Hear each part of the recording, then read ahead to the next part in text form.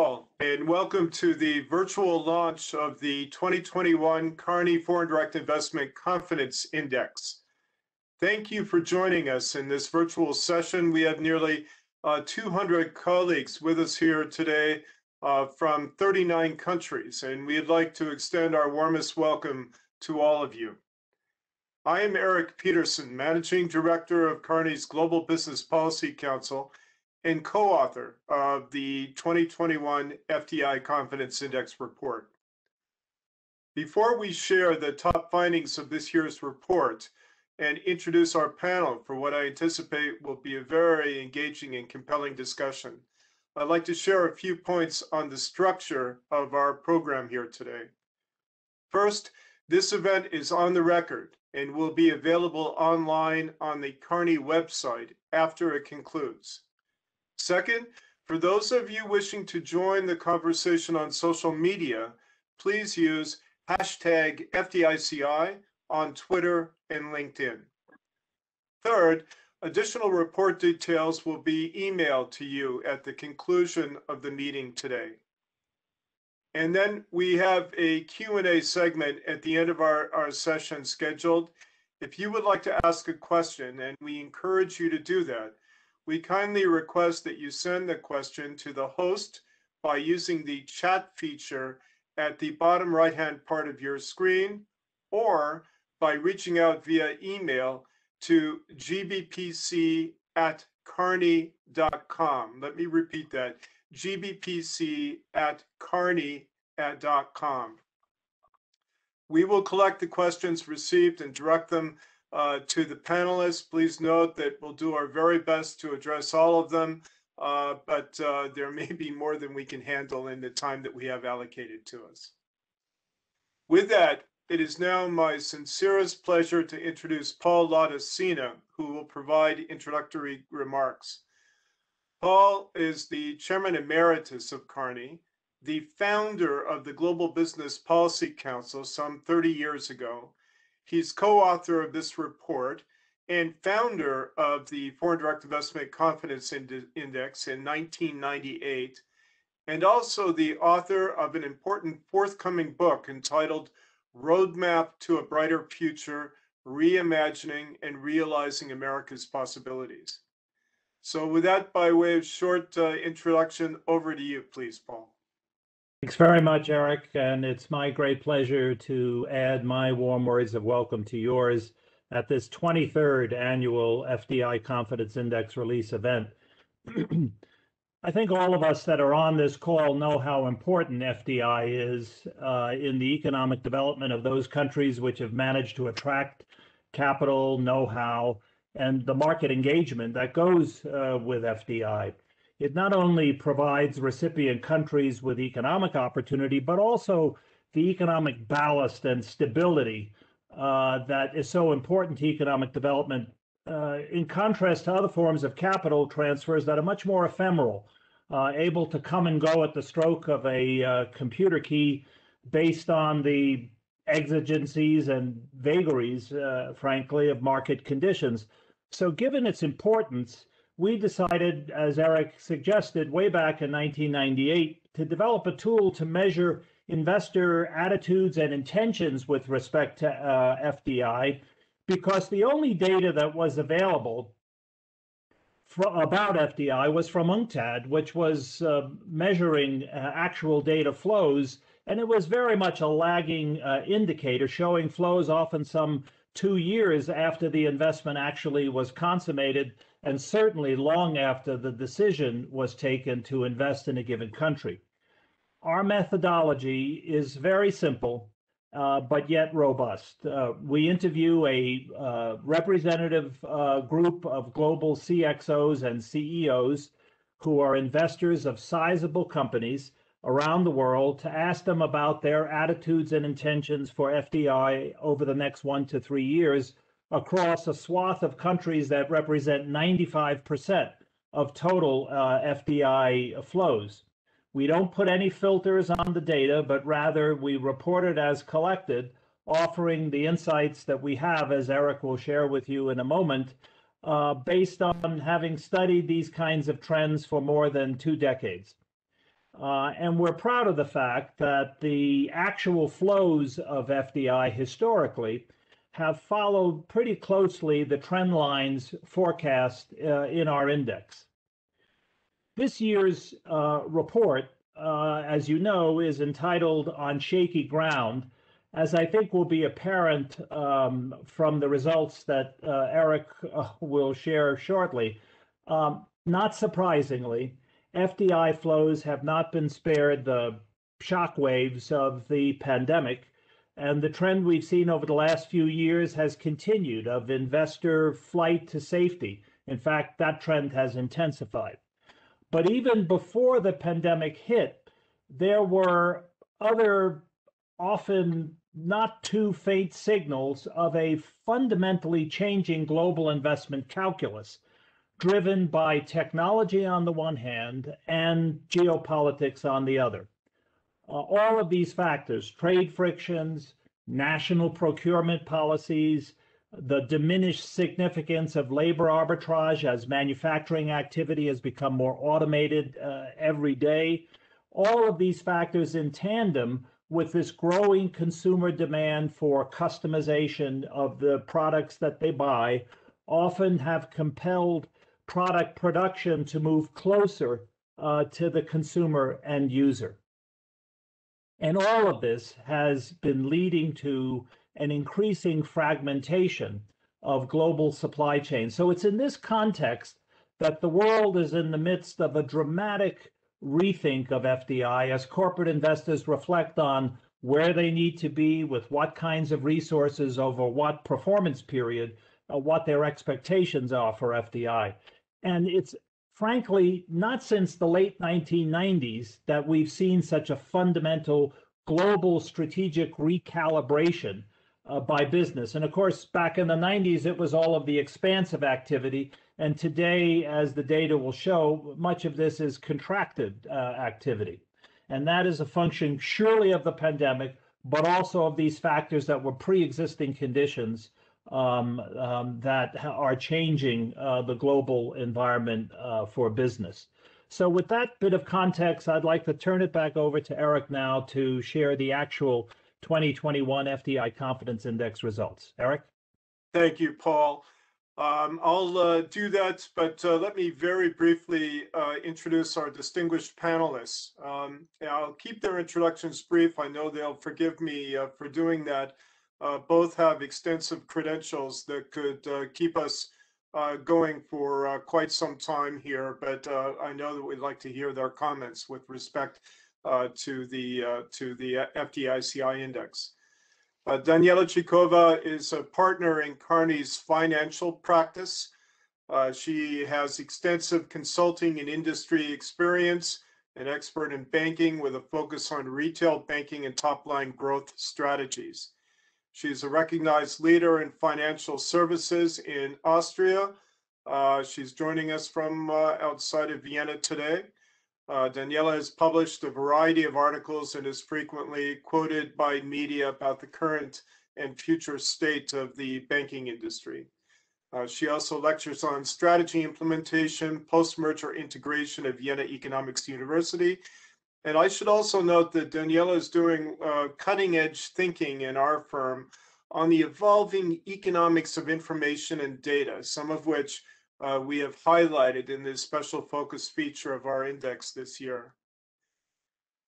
Ettore Pastore uh, is a uh, senior partner at Kearney.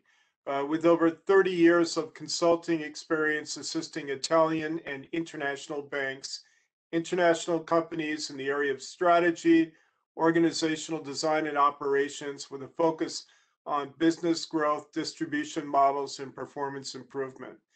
Uh, he's been engaged in uh, Kearney leadership over the years. Uh, he's also the former global and EMEA leader of Kearney's financial institutions practice. Both of them are wonderful and uh, deep thinking uh, colleagues. A reminder to all of you joining this call, after our panel discussion, we'll take your questions and reactions. Please, if you'd like to, uh, to uh, ask a question, uh, we send it to the host at the bottom of the screen or send it by email to gvpc at kearney.edu. fdi.com. And now it's my pleasure to present the main findings of the report.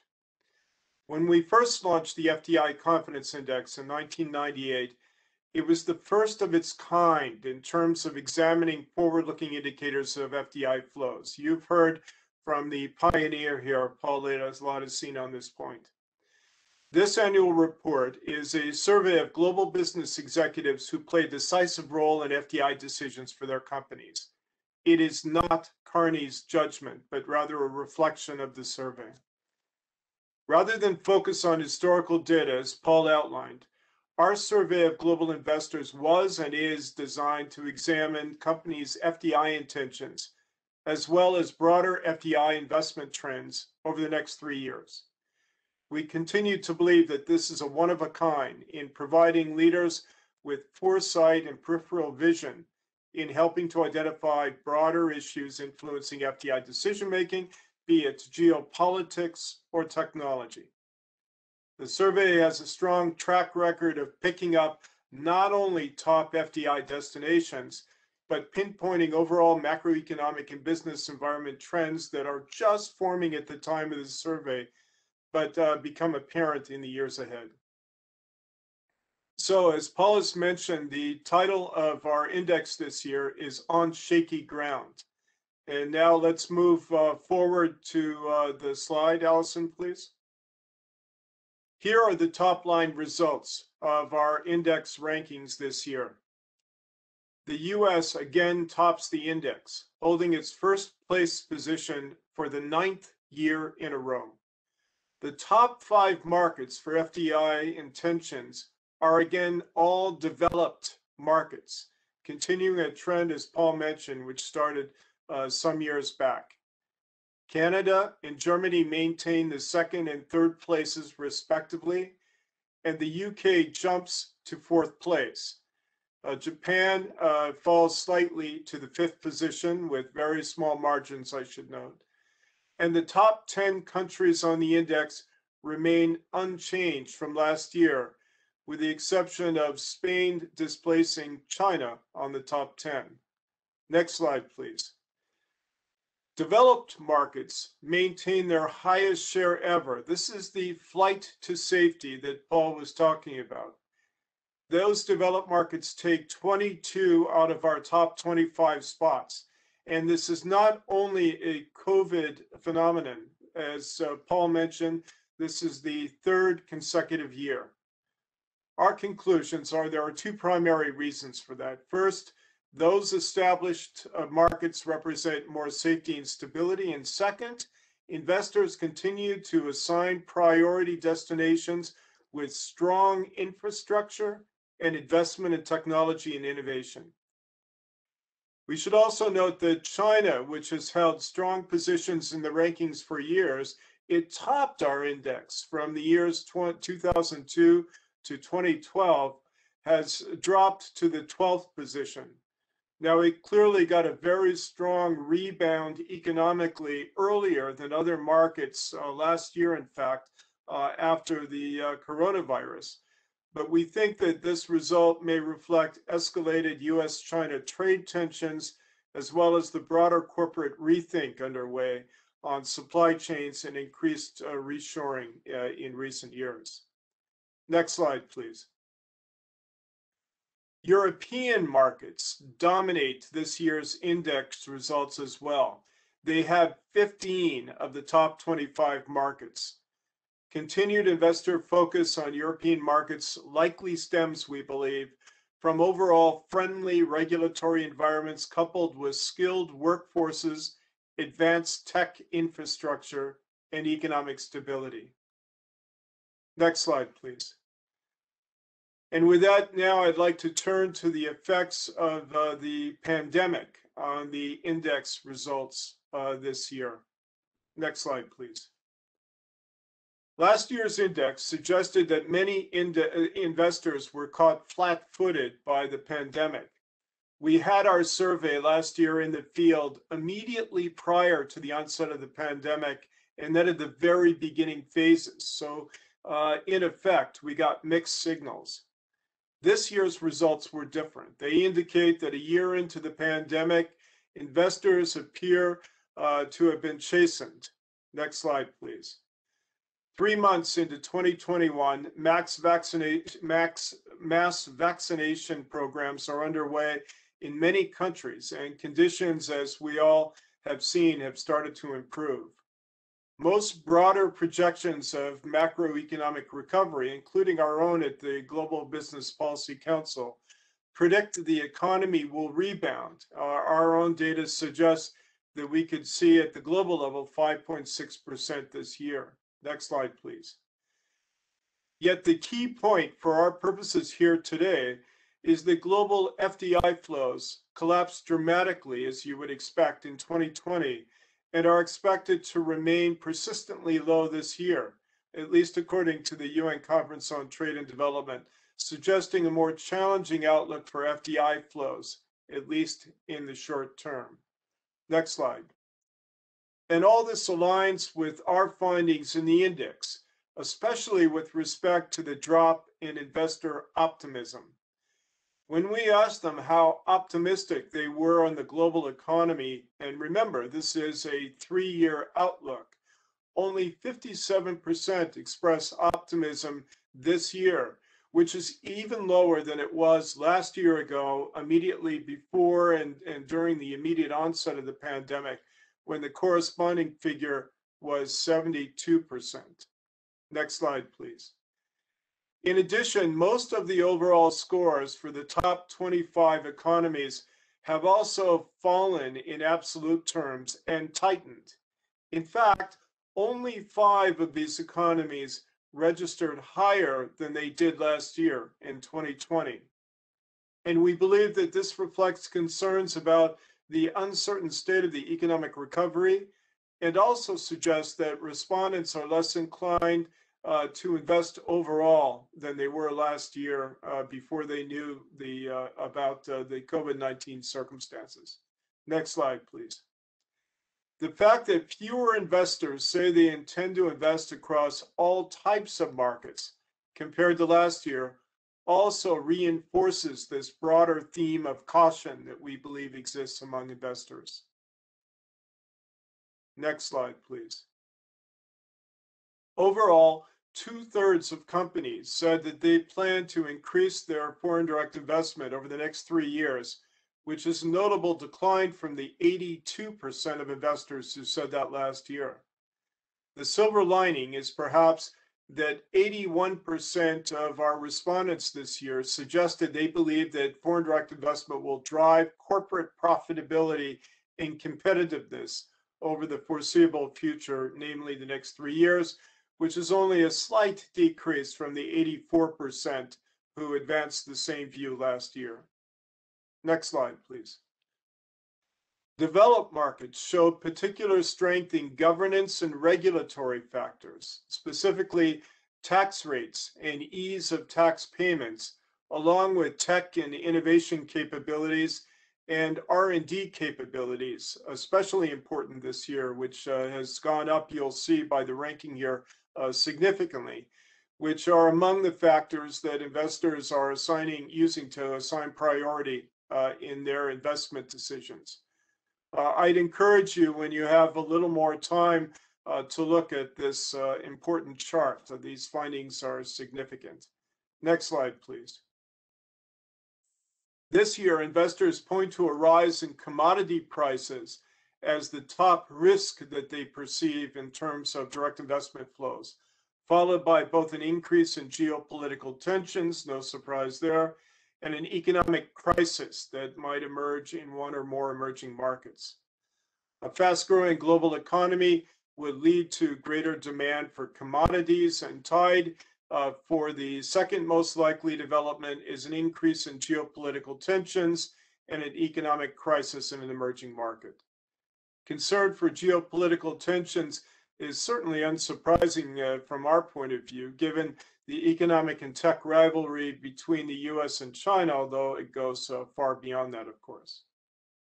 And the preconditions for an economic crisis in an emerging market uh, we think, uh, are intensified by the uneven vaccine rollouts and healthcare consequences, and therefore macroeconomic reverberations that we see in a number of emerging markets. Next slide, please. The global spread of uh, COVID underlined the paramount importance and value of data. And uh, as part of our Foreign Direct Investment Confidence Index, we have zoomed in on specific uh, issue areas uh, over the years. And this year, as I mentioned earlier in uh, my introduction of uh, Daniela, uh, we wanted to focus some questions uh, even more sharply on the value, the economic value of data and information.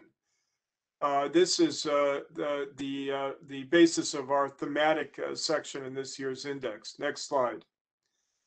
So what did it, uh, what did it suggest?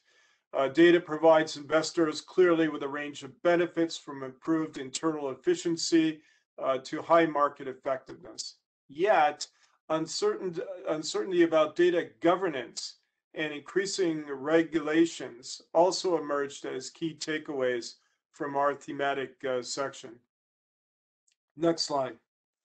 To explore these results more closely, investors make clear that data is vital uh, to their revenue streams. In fact, 65% say that 11 to 30% of their turnover is generated through data. Next slide, please. On the other hand, many of these respondents cite burgeoning data regulations as affecting their foreign direct investment decisions. As we noted in uh, our council's document, uh, we call year ahead predictions, uh, data privacy rules uh, have proliferated and are now proliferating in a number of key markets. And with such regulations on the horizon or already in effect, many investors are seeing data protection regulations as imposing high costs on their foreign direct investment prerogatives. Next slide, please. Getting into the specifics of data regulations, the findings are striking local storage requirements, local processing requirements, and restrictions on data transfers all have a significant impact on FDI for the majority of investors. Next slide. And compliance with these data privacy protection regulations comes uh, in many cases with a heavy price tag.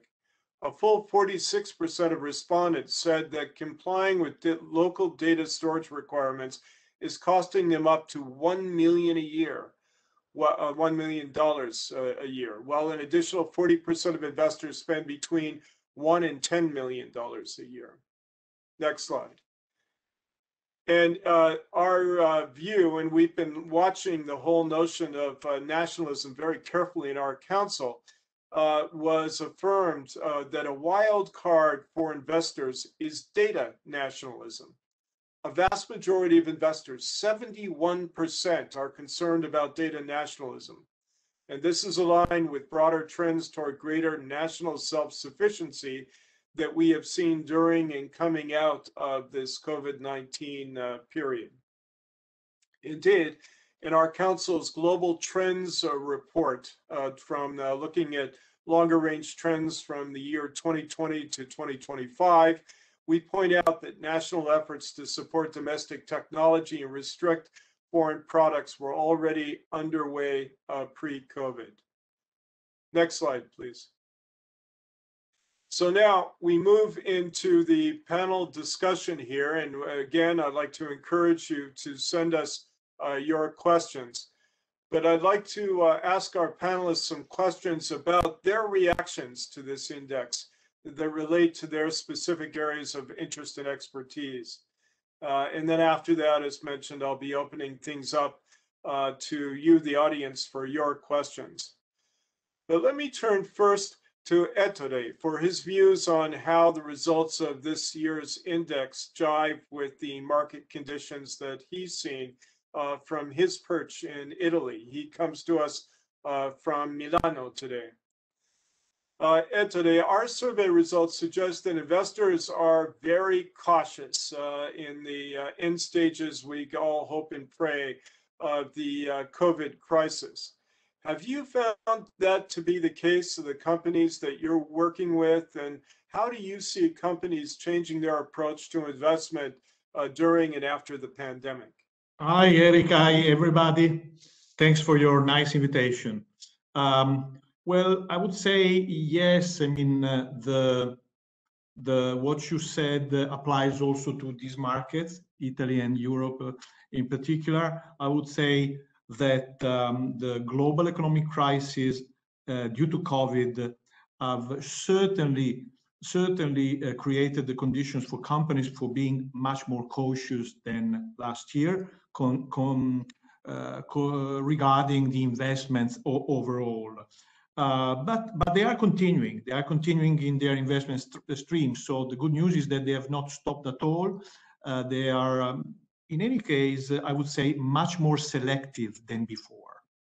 So um, you asked me how they have changed their approach. And I would say, um, first of all, uh, their selective attitude goes into specific uh, um, types of investments, basically automation, information technology investments, digitalization, and artificial intelligence these streams will never stop, in my opinion, over the last uh, over the over the next uh, few years, and uh, actually they have increased um, their um, their importance in the selection of of the companies that we work with.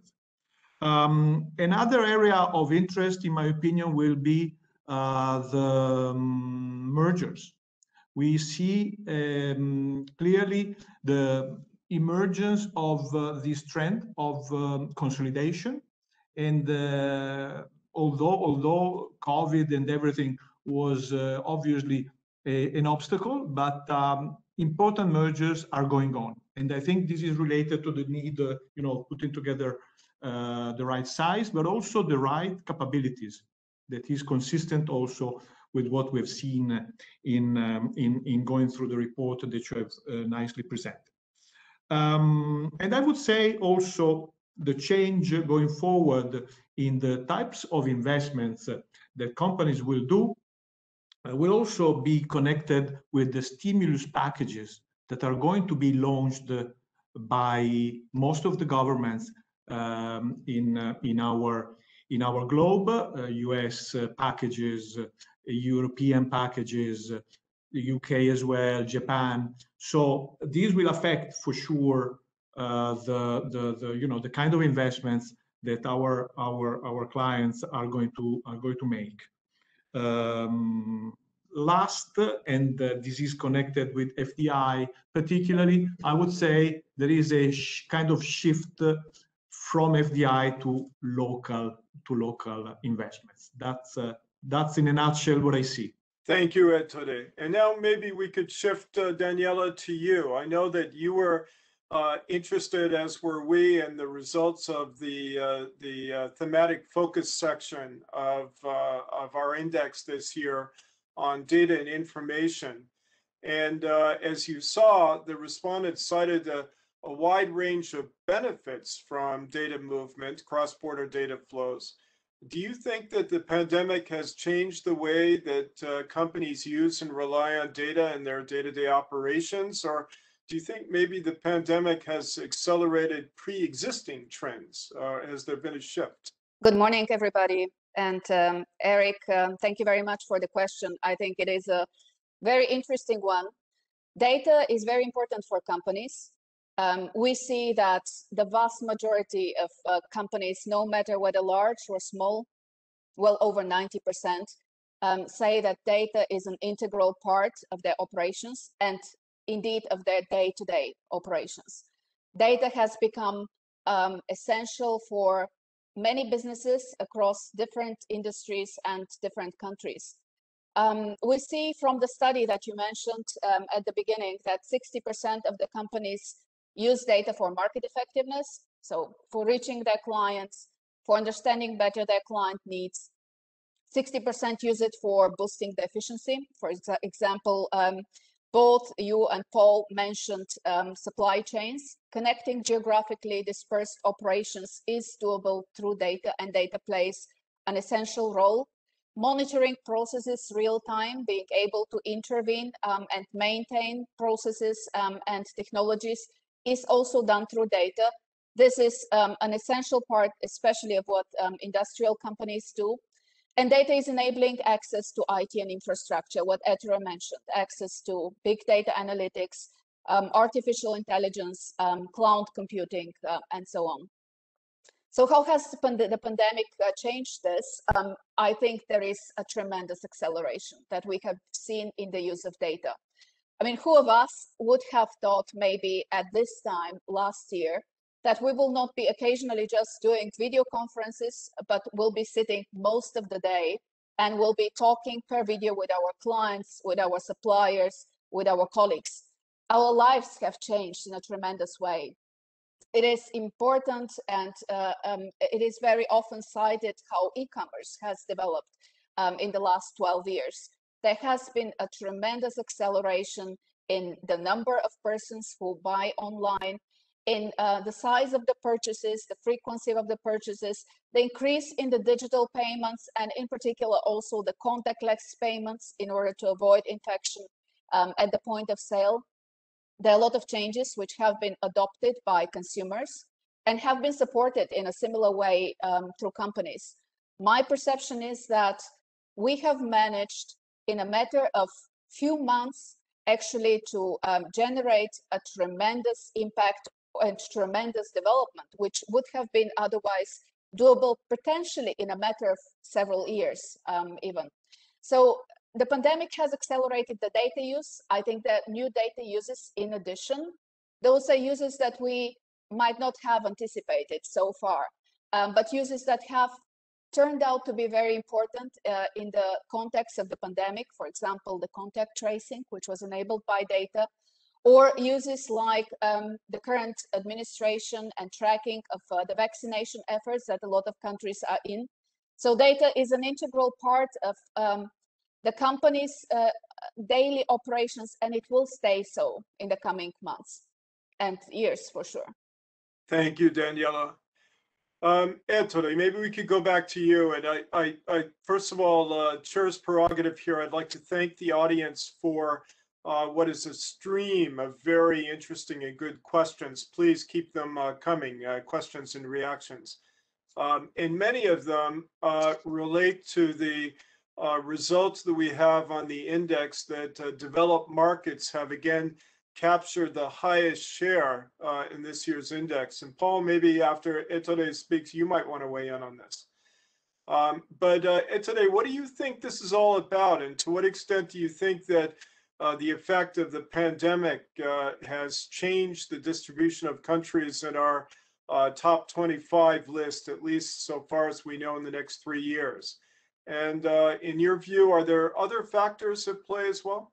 Yes, the interesting question. I think we have touched it a bit, uh, so I'll be uh, I'll be very synthetic. But again, it's very important to notice this because it's a it's a trend which uh, didn't start yesterday.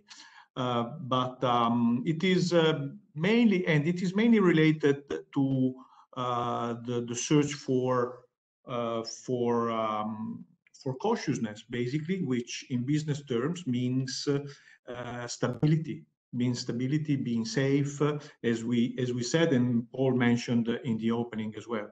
Um, and this is um, kind of uh, kind of logical. Uh, for uh, uh, for the rest, it's obvious that in these years, FDI occur only when there is a very high content of innovation in making these, these investments. This is another trend that we have noticed over the years.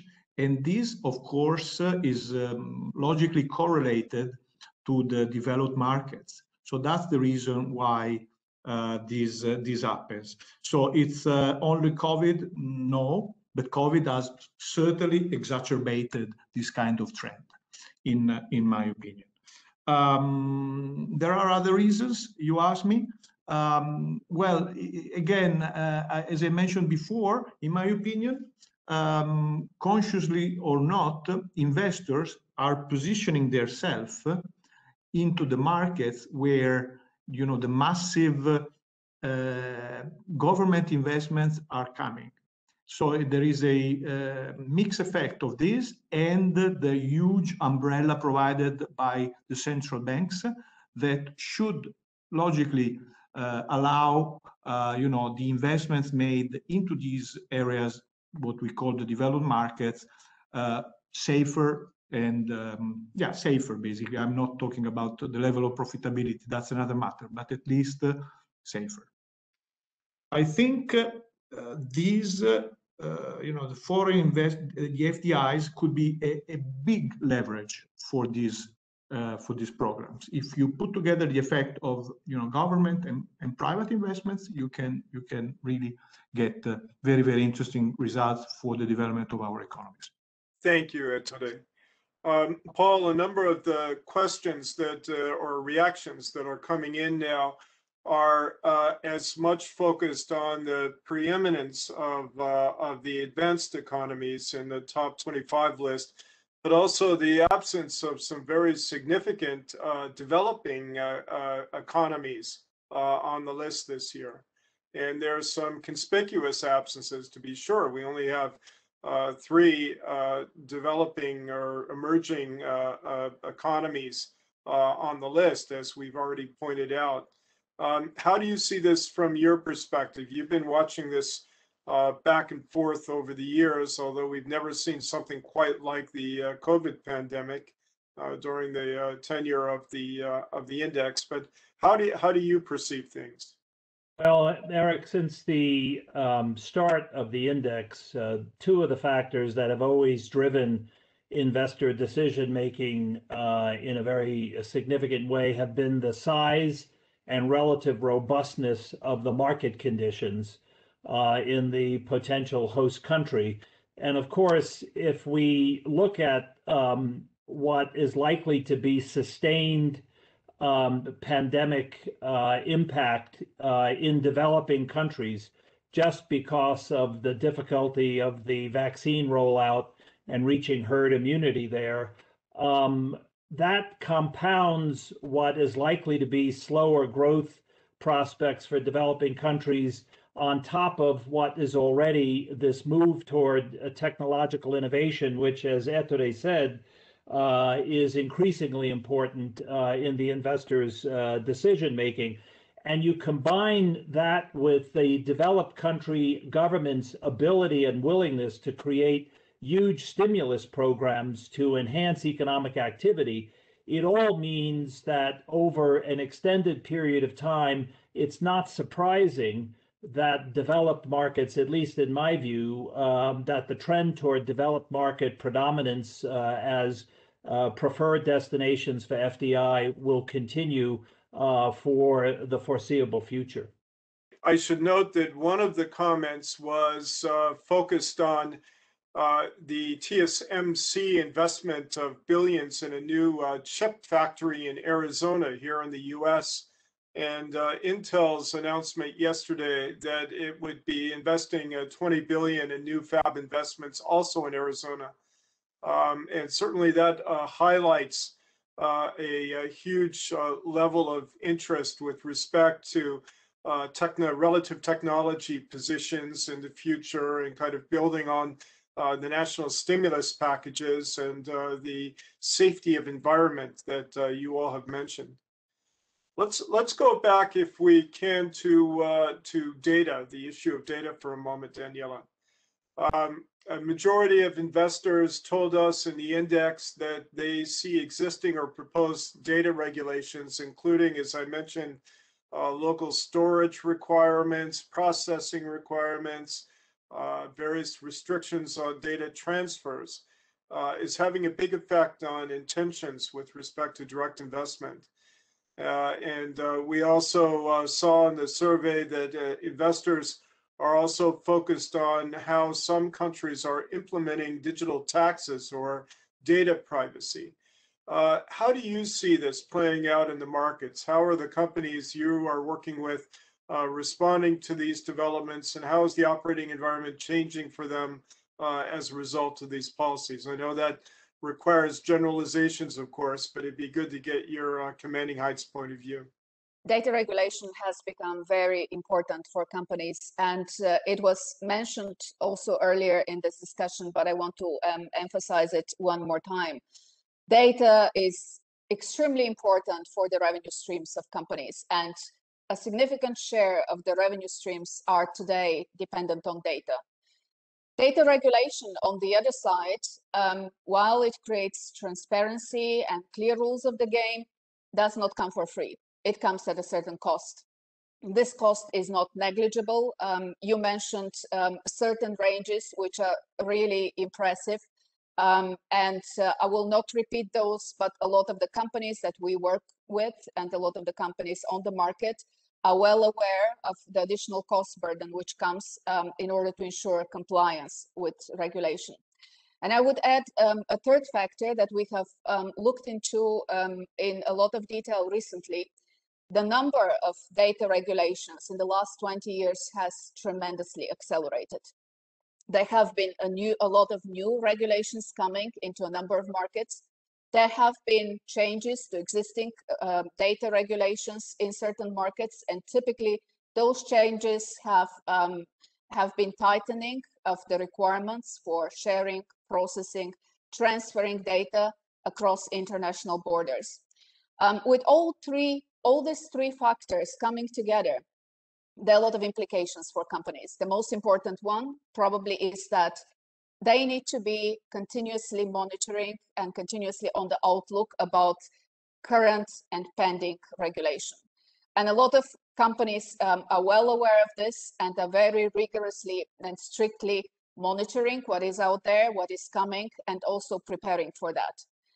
Um, there is a second element which is around um, building in the internal capabilities in order to be able to respond to the requirements that data regulation puts. Those are um, requirements in terms of how data is stored, where is data processed. There are solutions that need to be developed on the technical, on the legal side in order to respond to those requirements. And there, there are also specialists which companies um, very often need to employ in order to be adequately prepared and also quickly responding to changes in the regulation. And last but not least, and specifically um, now related to foreign direct investment, I see companies continuously um, reevaluating uh, their investments and considering the incremental benefits versus the incremental costs which are um, expected out of an investment, um, continuously being on the outlook for opportunities and in this evaluation, um, data regulation, the cost of data regulation plays a significant role. Thank you, Daniela. Uh, we've had an interesting question coming up. Maybe Ettore, you might uh, you might take this one on. Um, a number of countries, including several EU member states and Australia, have tightened their FDI rules uh, on national security grounds. That certainly applies to the U.S. as well as more countries seek to become self-sufficient in various sectors. Um, from from your point of view, today, how might this affect uh, trends in uh, FDI flows? Uh, for sure, for sure, this is an interesting question. I agree. The um, the regulations which are the result of the crisis that the governments are are putting on will limit uh, for sure, in my opinion, FDI. That's that's out of questions. Um, which means that uh, they will be even more and more selective and uh, and um, and, and and and of course will go toward you know very high added value kind of kind of investments because uh, management has to concentrate a lot, you know, to manage all these constraints uh, that uh, will be put uh, into into place. I hope this uh, will change after the uh, economic crisis will will fade away, or you know, the economic conditions will will will improve.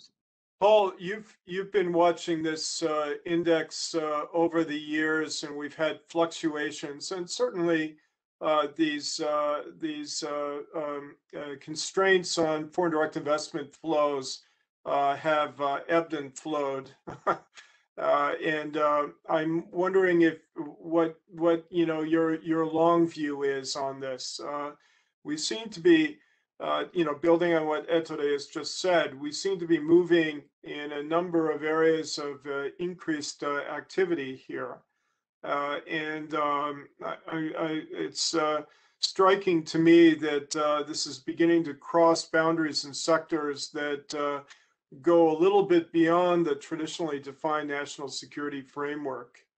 Um, what what what kind of uh, big ticket uh, conclusions do you draw from uh, these this this movement?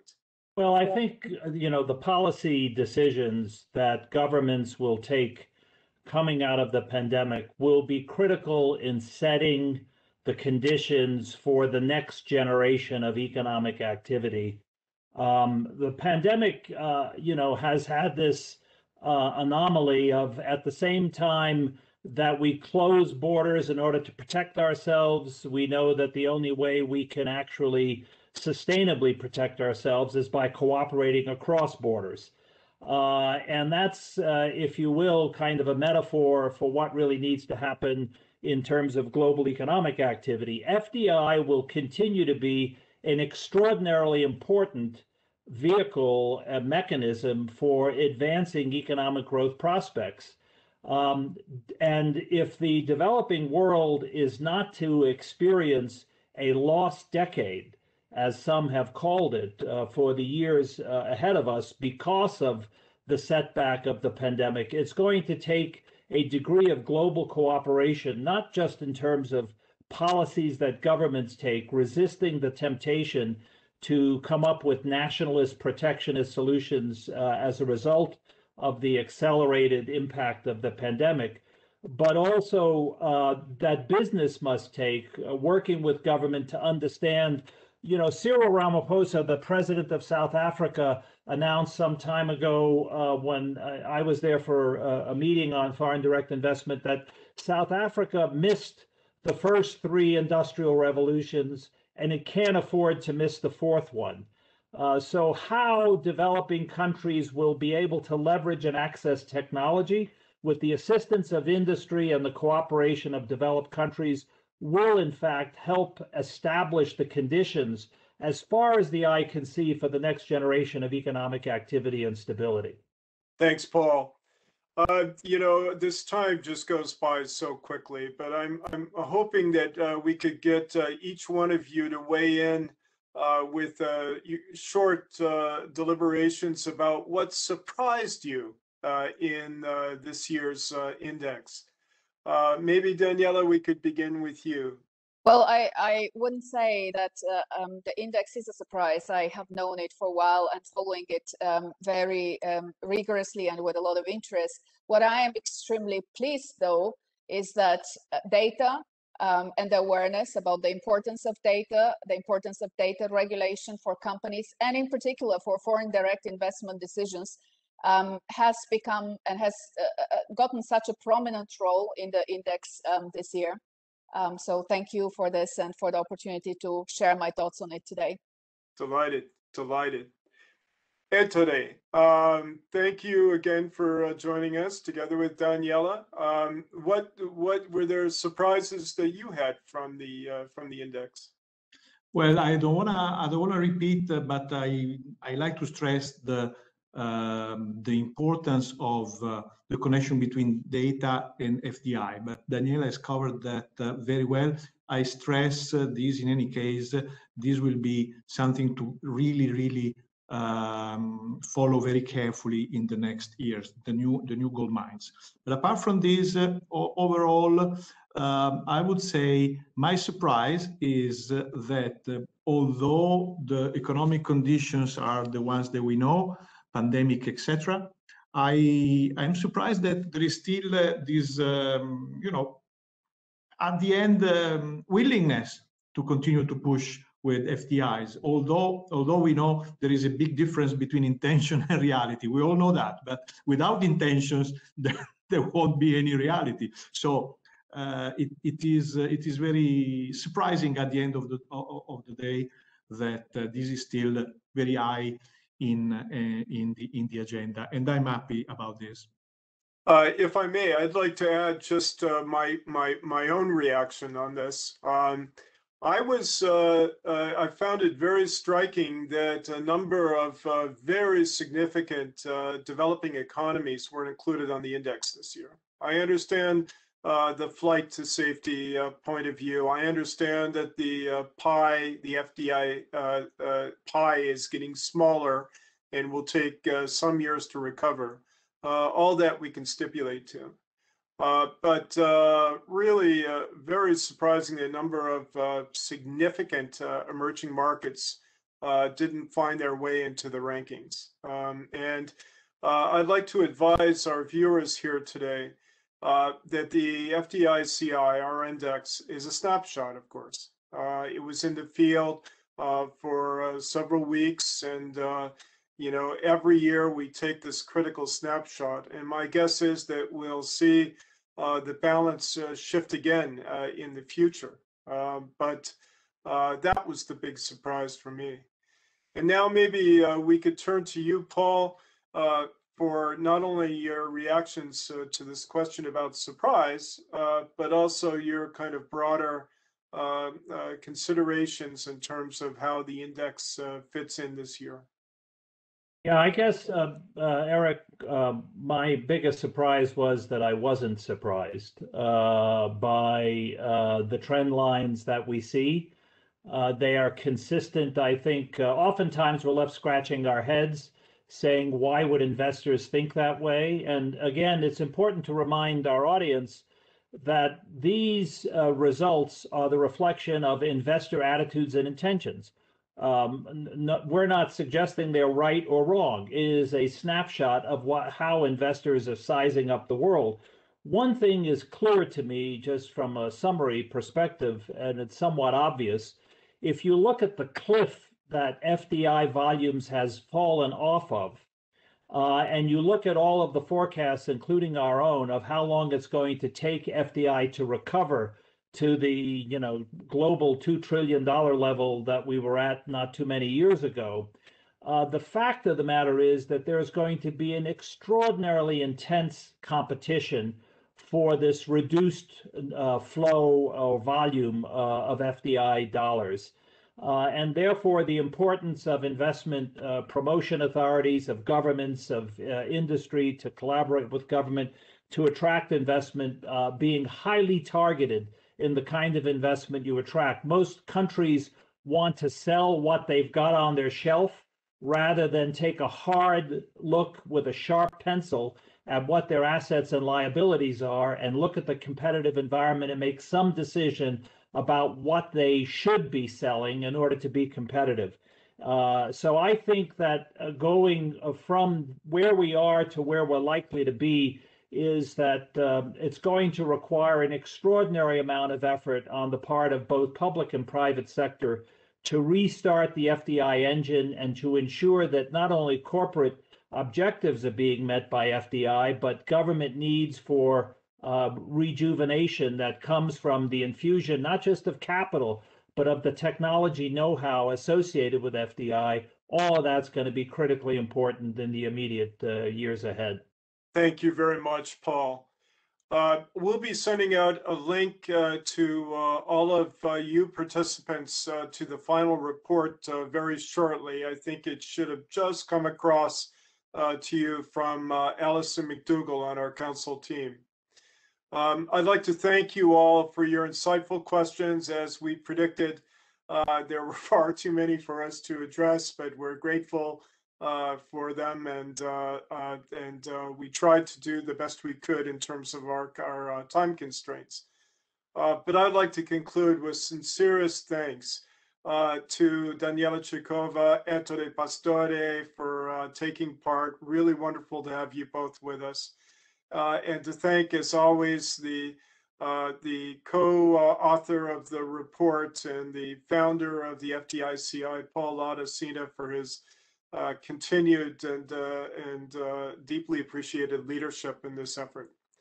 And I'd also like to acknowledge with uh, appreciation uh, the research leads on this year's index from our uh, Global Business Policy Council team, uh, Terry Toland, Radina Belbarova, Gabriela Hudart, and Rebecca Grenham, and the entire team, which uh, turned around the report this year in record time. So thank you all so much for joining us uh, today. Uh, we've been grateful to have you with us and look forward to bringing you uh, more by way of uh, thought leadership products from our Global Business Policy Council in the future. Uh, if you look at your screen now, we have global trends coming up, year ahead predictions. Uh, we have just released a global economic outlook. Our council perspective looks at the economic consequences of climate change this year. And of course, the FDI confidence index that brings us here together today. So from the Kearney community, uh, thank you so much for joining and we look forward to having you back soon.